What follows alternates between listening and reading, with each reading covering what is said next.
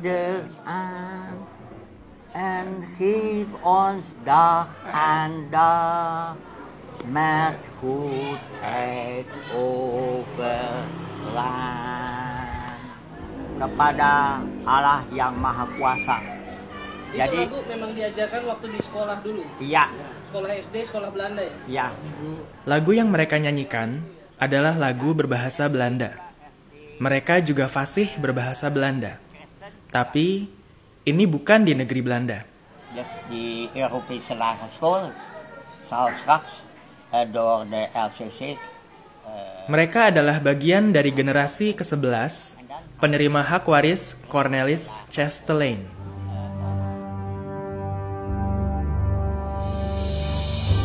Cornelis Chastelain, pria asal Belanda yang masuk ke Depok pada abad ke-17. Awalnya, Chastelain bekerja untuk kepentingan VOC. Namun, karena tak setuju dengan praktek eksploitasi yang dijalankan Belanda, ia mengundurkan diri. Lepas tugas di VOC, Chastelain membeli lahan partikelir atau lahan yang tak dikuasai Belanda seluas 1244 hektar. Sebagian besar berada di wilayah Depok. Sebagian kecil lainnya ada di kawasan Serengseng dan Lenteng Agung. Di lahan miliknya, Chastelain memperkerjakan 150 orang budak yang dibeli dari wilayah Indonesia Timur.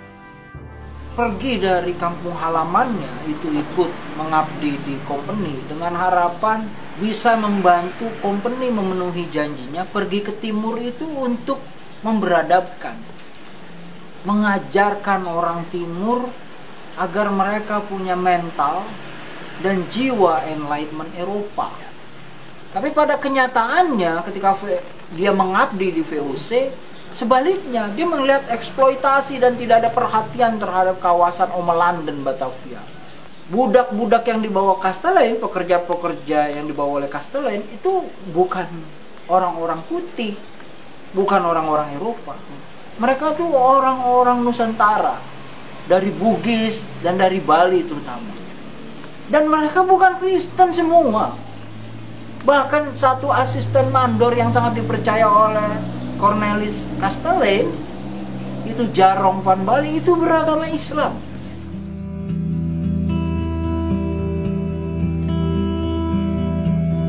Chastelain mengelola wilayah dan masyarakatnya sendiri. Pemerintah Hindia Belanda bahkan menyetujui wilayah yang dikelola Chastelain menjadi Hemente Bestur atau wilayah otonom yang memiliki pemerintahan sipil. 28 Juni 1714, Chastelain wafat dan meninggalkan surat wasiat. Dalam wasiatnya, Chastelain memerdekakan 150 budaknya dan seluruh tanah miliknya diwariskan kepada mereka. Para budak yang telah merdeka hidup sejahtera. Mereka berpendidikan dan dapat bekerja di pemerintahan. Beberapa bahkan menjadi petani kaya dengan tanah puluhan hektar. Merekalah yang kemudian disebut sebagai Belanda Depok. Tapi, para penerus pewaris Chastelain lebih senang disebut kaum Depok. yang sebenarnya buat orang Depok sendiri, orang kaum Depok tidak suka dibilang Belanda Depok karena kami bukan orang Belanda, kami tidak ada darah biru, kami adalah budak-budak yang dikirim oleh Cornelis Land. Istilah Belanda Depok ini harus dilihat dalam konteks kultur orang Betawi yang punya kebudayaan namanya poyokan. Poyokan itu panggilan kesayangan begitu loh ya. Misalnya itu kan muncul ketika misalnya uh, si Mamat palanya Panjul dipanggil Mat Panjul begitu ya. Uh, si Dul palanya Pitak dipanggil Dul Pitak begitu. Jadi bukan hendak mengejek apalagi menghina. Tapi itu panggilan keakraban begitu ya. Buat saya nggak masalah, cuman saya membela. Uh, saya meluruskan bahwa uh, sebutan itu enggak tepat, enggak akurat, enggak cepat ya dikatakan Belanda Depok Sebab kita orang Indonesia. Jadi saya harap itu juga jangan sampai disebut uh, lagi.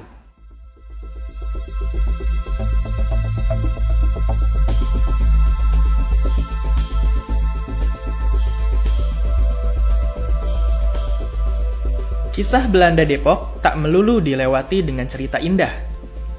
11 Oktober 1945, Para pejuang dan jawara menyerbu Depok. Inilah peristiwa yang dikenal sebagai Gedoran Depok.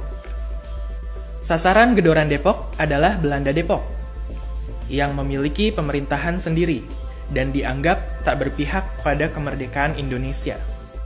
Versi lain menyebut Gedoran Depok sebagai buntut dari kecemburuan sosial terhadap kehidupan Belanda Depok yang sejahtera. Yosua Dolf berusia 84 tahun. Saat terjadi gedoran Depok, usianya baru 13 tahun. Itu mereka ada kedok revolusi. Tapi mereka adalah murni perampok. Perampok jadi ambil kesempatan dalam kesempitan. Jadi kita pada waktu itu uh, dirampok dan ditangkap dimasukin penjara. Mereka yang melakukan gedoran itu itu tidak berasal dari Depok.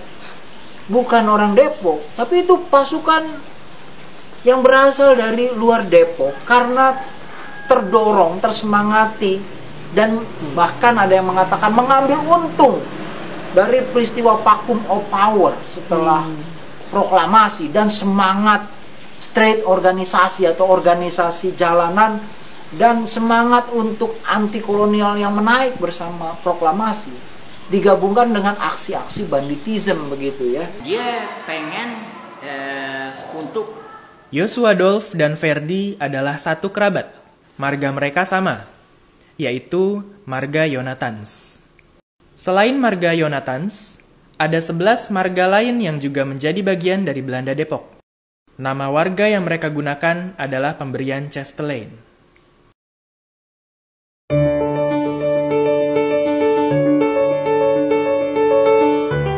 Seluruh nama marga Belanda Depok tertulis pada prasasti yang ada di dinding gedung Yayasan Lembaga Cornelis Chastelain atau YLCC.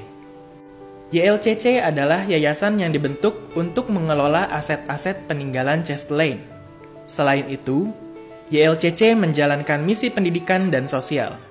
Lembaga Cornelis Chesland memang dibentuk komunitas 12 marga untuk menjaga seluruh aset-aset warga Depok, kaum Depok, untuk bisa dirasakan kembali ke warga Depok, Pak. Salah satu aset peninggalan Chestelain adalah Gereja Immanuel. Gereja tertua di Depok ini dibangun tak lama setelah Cornelis Chestelain masuk ke Depok. Tak sekedar memiliki nilai sejarah, gedung gereja Immanuel juga menjadi bagian dari berkembangnya nilai keberagaman dan toleransi. Jadi kalau toleransi beragama di Depok memang dari dulu cukup baik Pak, baik, nggak ada masalah. Bahkan dengan di Jalan Pemuda ini sudah dibangun dua pesantren besar. Kami tidak bermasalah dengan mereka dan hidup rukun damai. Setiap perayaan Natal mereka juga bantu menjaga gitu Pak.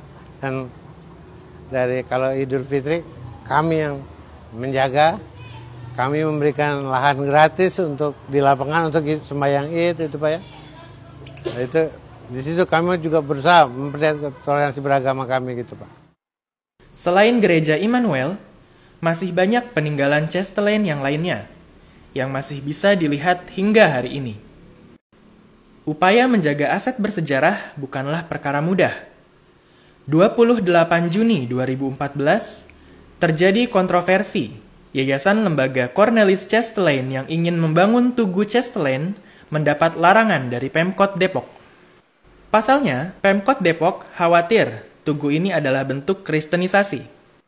Tugu Chastelain pertama kali dibangun 28 Juni 1914 pada peringatan 200 tahun meninggalnya Cornelis Chastelain.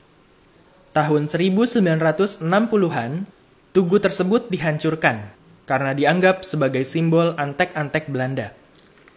kami coba bangun pak ternyata pemerintah waktu saat itu 2014 melarang pembangunan monumen itu karena karena ada beberapa hal lah terutama mengenai ada kata-kata yang kurang cocok untuk pemerintah Depok tapi berkat dorongan media satu bulan kemudian monumen itu bisa dibangun kembali Jejak sejarah Chastelain sebagian besar terdapat di Jalan Pemuda Depok. Karena itulah, orang mengenal kawasan ini dengan sebutan Depok Lama. Sebagian besar keturunan Belanda Depok tinggal. Saat itu eh, suku bangsa di Depok ini bukan hanya orang kampung dan orang Belanda Depok itu, ya, tapi juga ada orang Jawa, orang sini nyebutnya orang komplek, Pak. ada orang komplek, ada orang kampung, ada orang komplek, ada orang Belanda Depok, tiga. Tapi kalau kita lacak masa klasiknya sejak Kastelen itu, itu dua itu orang kampung dan orang Belanda Depok. Secara fisik, penampilan Belanda Depok tak ada bedanya dengan warga Depok lainnya. Sebab mereka bukanlah keturunan Eropa, melainkan Indonesia. Meski di antara mereka masih ada yang mewarisi kemampuan berbahasa Belanda. Pemahaman yang terbatas tentang Belanda Depok membuat sebagian warga memandang keliru tentang Belanda Depok. Belanda Depok ya. Yang saya tahu sih Belanda Depok itu mungkin orang keturunan kali ya. Orang-orang yang asli Depok yang yang mempunyai 12 marga. Orang-orang yang berasal dari Belanda tapi dia ingin tinggal, ingin tahu apa sih eh, Depok itu seperti apa. Nama Depok itu sendiri. Versi yang pertama Guna menghindari salah paham sejarah Belanda Depok, maka upaya guru untuk memberikan pelajaran dengan muatan lokal adalah hal yang sangat penting. Di SMA Negeri 5 Depok ini misalnya. Eh, Depok ini masyarakatnya multikultur, bahwa kan orang-orang Belanda Depok ini bukan orang-orang asli sini, tapi mereka yang didatangkan gitu. Dan yang paling penting uh, bukan soal punishment atau bagaimana, tapi mereka mengetahui, mengenal, dan mereka bisa peka gitu dan tidak merasa berbeda gitu. Tak lepas dari sejarah panjang, Depok hari ini makin berkembang. Depok menjadi kosmopolit dari wilayah yang menggambarkan kawasan bukan hanya plural, multikultural, tapi interkultural. Sama, jadi enggak ada diskriminasi, jadi bisa saling mengasihi, jadi eh, perikemanusiaan ditingkatkan dan supremasi hukum benar-benar ditingkatkan. Jadi harapan saya sebagai setelah uh, sebagai guru sejarah setelah mereka paham tentang latar belakang uh, tempat mereka tinggal, kota Depok segala macam, mereka bisa mempertahankan apa yang baik seperti toleransi dan apa saling menghormati